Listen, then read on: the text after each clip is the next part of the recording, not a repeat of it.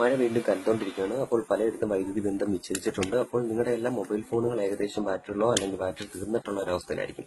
അപ്പോൾ എങ്ങനെയാണ് അതിന്റെ എമർജൻസി സിറ്റുവേഷനിൽ ബാറ്ററി ചാർജ് ചെയ്യാവുന്നതാണ് വയ്ക്കുന്നത്? അപ്പം അതിനായിട്ട് നമുക്ക് വേണ്ടത് നമ്മുടെ ഒരു യു എസ് ബി കേബിളാണ് നമ്മുടെ പഴയ യു എസ് പി കേബിൾ എടുക്കുക. അല്ലെങ്കിൽ നിങ്ങളുടെ ഉപയോഗിച്ചിട്ടുണ്ടെങ്കിൽ യു എസ് പി കേബിൾ എടുക്കുക. കട്ട് ചെയ്യുക. നോർമൽ കേസ് അതിന്റെ നാല് വയറുകൾ കാണാം. രണ്ട് അതിന്റെ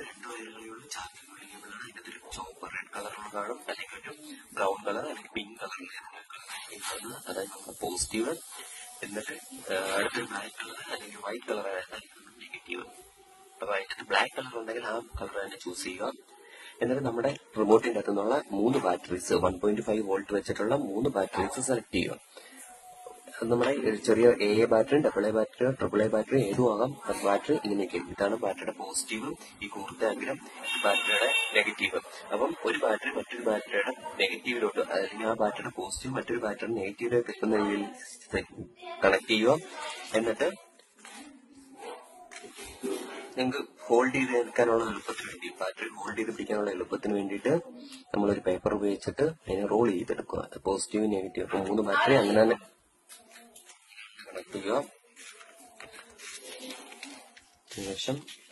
ഇത് നിങ്ങൾക്ക് ഹോൾഡ് ചെയ്ത് വെക്കാനുള്ള എളുപ്പത്തിന് വേണ്ടിയിട്ടാണ്. അതിനുശേഷം നമ്മുടെ ചാർജർ കണക്ട് ചെയ്യുക. അപ്പൊ വളരെ ശ്രദ്ധിക്കേണ്ട കേസ് ഇതിന്റെ പോസിറ്റീവ് എന്ന് പറയുന്നത് ഈ ബാറ്ററിയുടെ പോസിറ്റീവ് എന്ന് പറയുന്നത് നമ്മൾ മുമ്പേ തന്നെ റെഡ് വയറിൽ കണക്ട് ചെയ്യുക. കോർത്ത് എത്തിയിട്ട് അല്ലെങ്കിൽ ആ ബാറ്ററിക്ക് തിരിച്ചില്ല ബാറ്ററിയുടെ നെഗറ്റീവിലിട്ട് നമ്മുടെ നെഗറ്റീവ് ആഗ്രഹം കൊണ്ടുവന്ന് കണക്ട് ചെയ്യും. ചാർജ് ഡെഡ് കണ്ടീഷനിലോട്ടാണെങ്കിൽ ബാറ്ററി ചാർജ് ബാറ്ററി ചാർജ് സമയത്താണ് അതായത് ഒരു പത്ത് ശതമാനം അല്ലെങ്കിൽ അഞ്ച് ശതമാനം ചാർജ് ഉണ്ടെങ്കിൽ ചെയ്യും അല്ലാന്നുണ്ടെങ്കിൽ ഇത്